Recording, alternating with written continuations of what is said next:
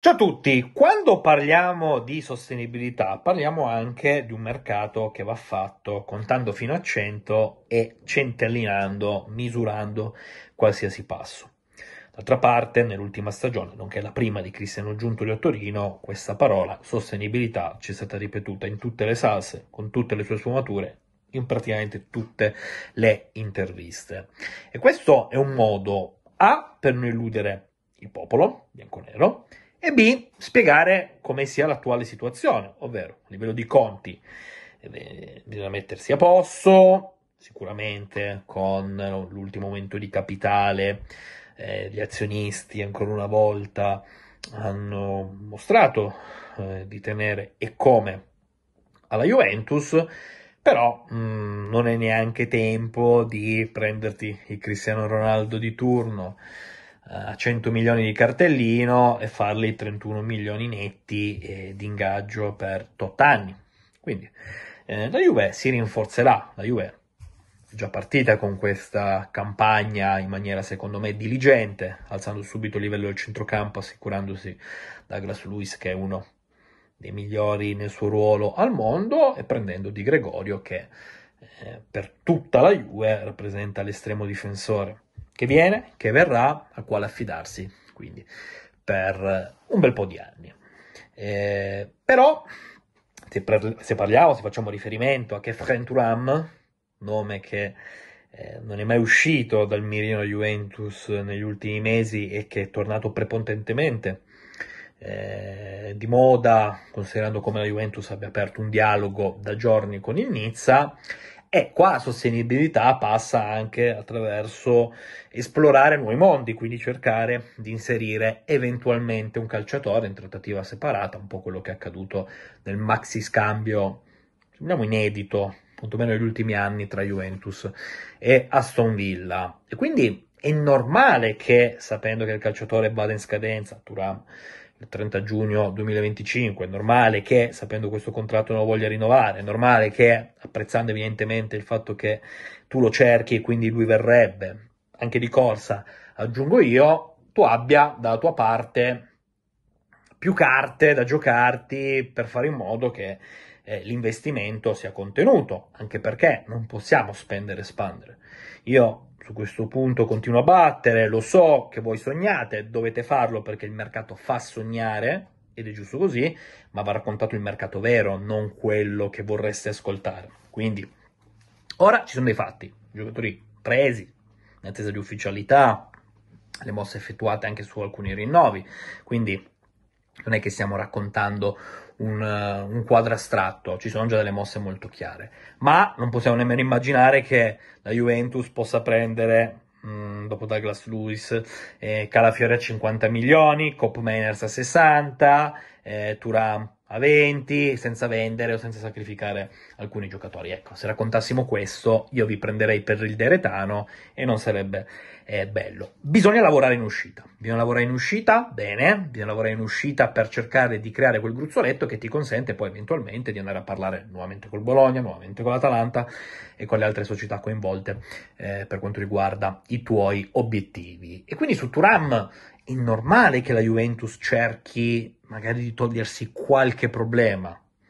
È normale che la Juventus possa aver messo sul piatto uno tra Milik, Ken, Kostic, Nonge, perché sono magari chi più chi meno calciatori che non rientrano nel tuo progetto tecnico e che se finissero in un'operazione di questo tipo ti creerebbero un doppio vantaggio. Ti aiuterebbero A a spendere meno e B a toglierti appunto un ingaggio o comunque un calciatore che non smani dalla voglia di tenerti. Bisogna fare dei distinguo perché eh, quando noi parliamo degli ingaggi di Ken, superiore ai 3 milioni netti, l'ingaggio di Milik, parliamo di quel target, l'ingaggio di Kostic pure, eh, sono tutti ingaggi impattanti. Poi eh, mi spiegavano che la situazione del Nizza è abbastanza chiara, cioè il Nizza è una società con le spalle ben coperte, con i suoi equilibri finanziari, ma che tende poi a valorizzare il patrimonio tecnico, eh, passando soprattutto dai giovani e anche da allenatori che sappiano lavorare con gli stessi. Quindi eh, ci sta alla grandissima che giunto lì per primissima cosa eh, cerchi di dire, caro Nizza, questa è la lista dei miei esuberi, ne prenderesti uno? Eh, perché tanto la Juve sa qual è la richiesta del Nizza per quanto riguarda il cartellino di Turan. Siamo più o meno sui 25 milioni. La Juventus anche che quella cifra non la spende perché se Turam dovesse rimanere un anno a Nizza ancora per cause astrali, si ritroverebbe il prossimo febbraio con la possibilità di essere in procinto di, es- di diventare un free agent e quindi febbraio 2025 Turam, se rimanesse a Nizza, potrebbe promettersi a costo zero. Questo creerebbe un grosso danno al club transalpino. E quindi la Juve secondo me si trova davanti a un doppio piano. Il primo è cercare ancora più concretamente di capire se è un calciatore inseribile. Non c'è, mi sembra che a livello di ingaggio e di prospettiva possa essere quello più interessante per il Nizza, ma anche altri nomi potrebbero fare il caso ehm, del club rossonero. Uh, oppure, oppure vai a fare una prima offerta eh, in fase embrionale, che ne so, di 15 milioni, ti diranno di no, la alzi magari aggiungendo dei bonus. Insomma, mm, la parola sostenibilità, che ormai ha catturato H24 la nostra attenzione quando parliamo dei conti della Juventus e in generale del suo mercato, è proprio questo, cioè eh, non fare cose tanto per farle, ragionarle e capire se nell'utilità di una trattativa tu ti possa risolvere anche un problema. Eh, sono tanti i giocatori che devono lasciare la Juventus quest'estate, o che la Juventus avrebbe il desiderio di piazzare, meglio ancora.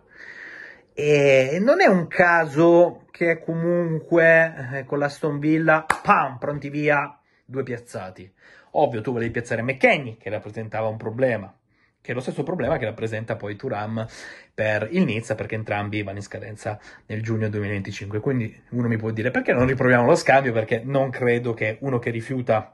eh, di andare alla Stonvilla, o meglio, che poi forse raccontarla così è sbagliata.